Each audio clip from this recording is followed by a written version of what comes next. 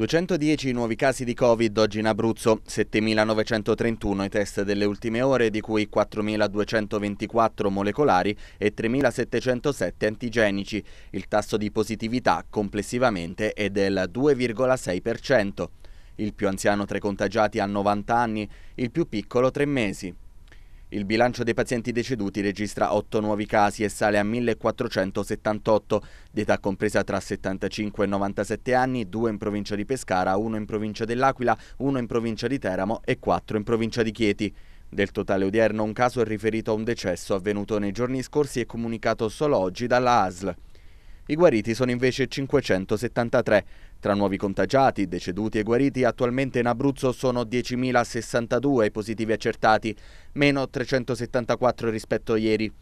414 pazienti, più 13 rispetto a ieri, sono ricoverati in ospedale in terapia non intensiva, 44, meno 3 rispetto a ieri con 3 nuovi ricoveri in terapia intensiva, mentre gli altri 9.604, meno 384 rispetto a ieri, sono in isolamento domiciliare con sorveglianza attiva da parte delle ASL.